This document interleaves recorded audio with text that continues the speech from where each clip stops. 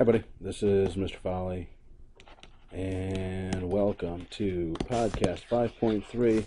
This is part one of seven, so this will be a 45 minute podcast. Just joking. I hope you all went out and impersonated your parents and voted today, um, but I have a feeling you're too goody goody to do it. Today, we're going to learn about the polarity of molecules, difference between polar bonds and polar molecules, difference between intermolecular forces, which is between molecules, and covalent ionic bonds, location, strength, and attraction. We're going to do some definitions. Dipole moment, uh, momentary dipole, induced dipole, in connection with, yeah, yeah, you can read those things. Describe and distinguish between three types of intermolecular forces, dispersion, dipole, dipole, and hydrogen bonds. And given a substance, determine what types of intermolecular forces exist between its molecules based upon formula, molecular shape, polarity, boiling point, and or evaporation rate. So let's have to that. A bond is polar if the change in electronegativity difference is 0.5 or more. Okay? So remember that's the periodic table of electronegativity. A molecule is polar if the bond is polar. Hey, that's up there. And the shape does not cancel the polarity. So let's take a look at the shapes to show you how that works. CO2, carbon dioxide, if you draw its Lewis-Dot structure, looks like this. So you need to get out your periodic table of electronegativity values to see that oxygen is 3.5 and hydrogen is 2.4. So that means that oxygen is more negative. So I would draw a little arrow doing this. Do you see how the left side is negative and the right side is negative and the center is positive and the center is positive? It's pretty obvious the center of positivity is here, but the negative sides cancel. So CO2 is symmetrical, so it has polar bonds, but non-polar molecule because the negative sides cancel. There's a center of negativity on the left, on the right, or in the middle. It's in the middle, so that cancels. There's no negative end. NH3 looks like this. I'm going to change my color. Maybe that'll be better. Ink color. Hopefully red. Why don't I have red? So if this is N, this is H, H, H. These are polar bonds. So H is the positive end, and nitrogen's the delta negative end delta positive, delta negative, delta positive, delta negative. So the center of delta negative is clearly right there. Center of delta positive is the average of these three. Can you see that these three in the bottom of a pyramid would be like right here, tickling the belly? So this is the center of negativity. So this, I'm sorry, positivity. So this is the negative pole. This is the positive pole. So this is a polar molecule. CH4. C is 2.5, H is 2.1. So the electronegativity difference is 0.4. So nonpolar bonds means nonpolar molecule. This is a polar molecule. So notice this has a pair, and it's a polar shape. No pairs on the central atom. Nonpolar. Let's see if we see a trend here. PF5. Here's P. F. That made me think of PF Chang. That sounds so good. Mm. Okay, this is a polar bond. I forget what it is, but the difference between F and P is greater than 0.5. So fluorine is more negative. So I'm going to draw my arrows this time. Do, do, do, do. I'm pointing at the negative one. So clearly the center of positivity is right here and the central atom negativity, do you see how this negative guy would cancel with this negative guy? Okay. These two would average out to be right here, right? And this guy right here would cancel with this one. So my center of negativity is right here. My center of positivity is right here. So there's no poles, right? No negative end. So yeah, no poles. So no polar, not polar because there's not a negative end nor a positive end, they're both in the middle. Okay? So again, notice no pairs, non-polar. Hey, I'm starting to see a trend. SF4, this is SF4. S, F, F, F, F. And draw my little arrows. Fluorine is more negative than sulfur. The difference is greater than 0.5. So we look right here. All of my white guys are negative and this fluorine would cancel with this one because they're on opposite sides. These two the average of this negative would be right here. Again, in the middle right there, tickling the belly. Positive pole, central atom, negative pole, tickling the be belly. That is a polar bond. Ooh, almost called it polyra. So notice it has a pair. It is polar. That's usually true. H2O. Mm, figures I'm going to draw it. Do, do, do, do. H. H. It is a polar bond. So H's are positive, oxygen's negative. My center of negativity is clearly right here. Center of positivity is right in between these two. So negative pole, positive pole, polar molecule. Oh, and look, it has a pair too. Two pairs. BRF5. I hope it's this one. It is BRF5. Again, it's a polar bond, so you check the electronegativity differences. And draw your arrows pointing at the more negative one. F has a value of 4.0. BR has a value of something less than 3.6. Center of positivity is right here in the middle. Negativity, let's see what can I cancel. You see how this guy would cancel with this guy. And this guy would cancel with this guy. So what I'm left with is the negative sign right here. This is the negative pole. This is the positive pole. It's polar right? It has a pair. It's polar. Okay, there's BRF. Chuckle 3.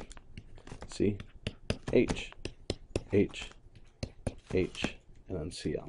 It doesn't really matter which one you call chlorine, but it's there. C to H is nonpolar. So C to H is nonpolar. See, it's helpful to know that. Didn't even check my sheet. C to H is nonpolar, so I'm not going to do anything with that. C to Cl is polar.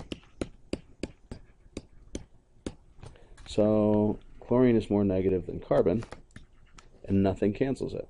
So although this has no pairs, it is polar, because this is the negative end, and this is the positive end. Remember, pole means end. AlF3, aluminum in the middle, F, F, F. Al to F is a polar bond, so I got uh, negative, uh, negative, uh, negative.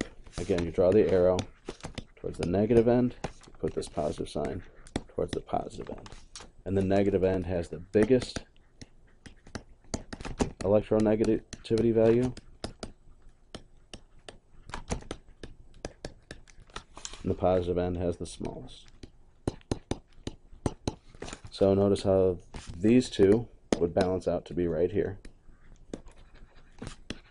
And this one would cancel with that one. So again, positive and negative are in the same place, so it's nonpolar. And notice it had no pairs. Intermolecular forces are between molecules. The prefix inter means between. I drive on the interstate. That is a road between Indiana, the great state of Indiana, and leftover Illinois. Okay, that's between states.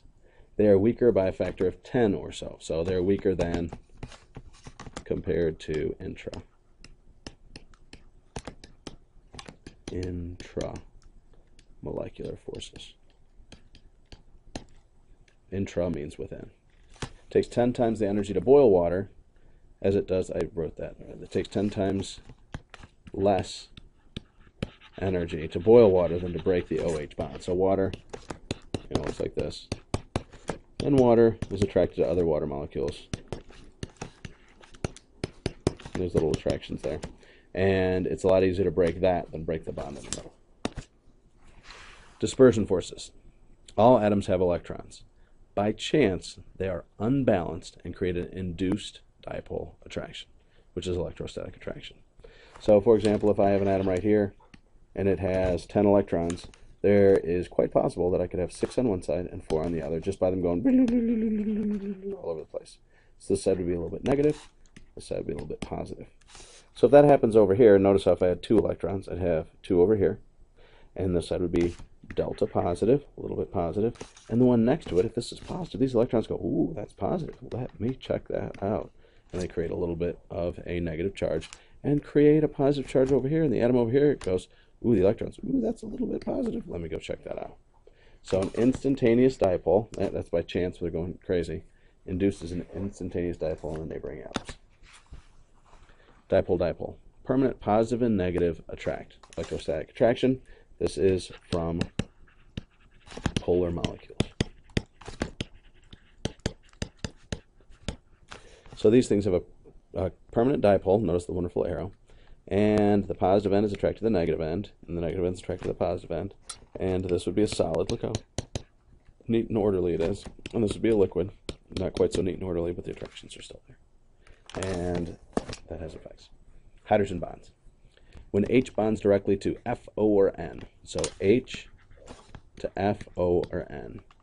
So these guys are very electronegative.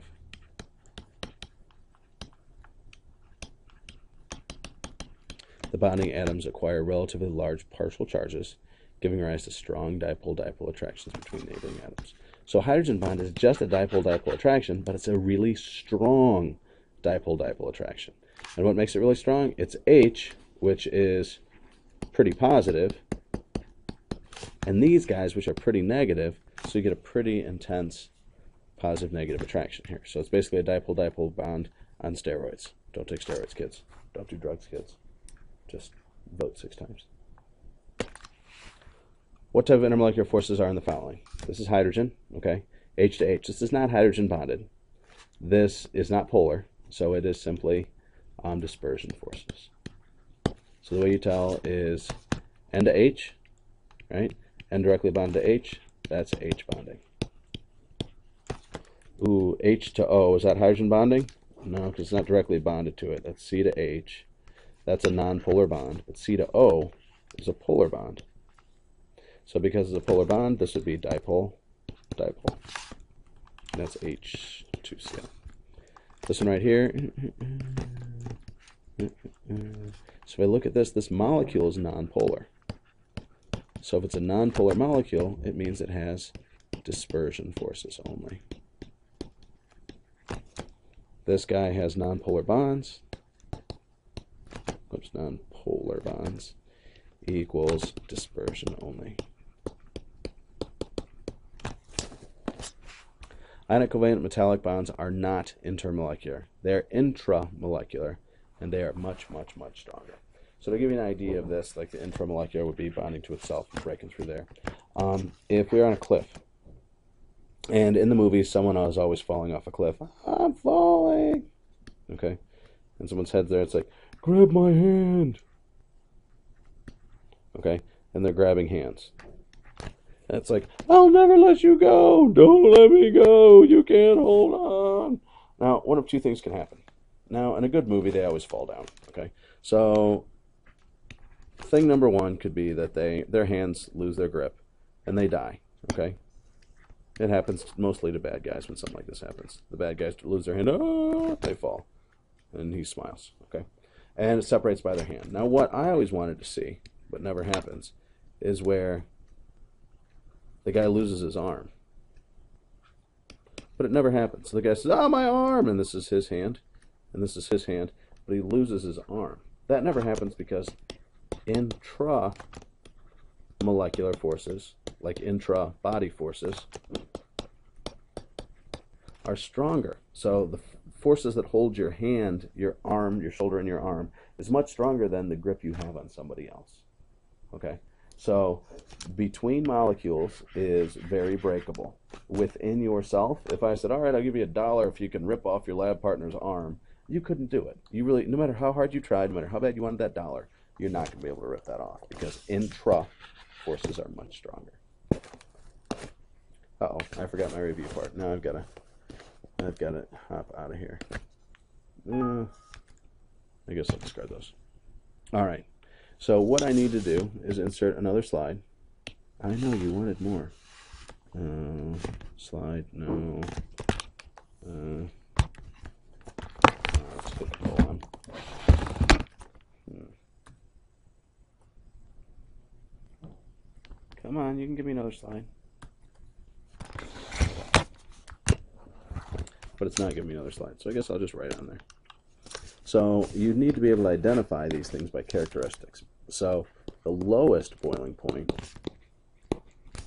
is dispersion forces. Medium boiling point is um, dipole dipole. And highest boiling point is H bonding. Then you got to learn a little something about viscosity. Viscosity is resistance to flow. So, for example, syrup has a high viscosity.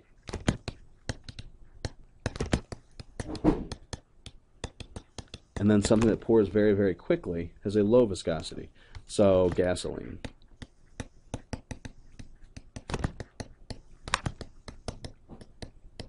So if I were to rank these things by their properties here, dispersion forces would have high viscosity because they're not very attracted to each other. So they flow easily. And dipole-dipole would have medium viscosity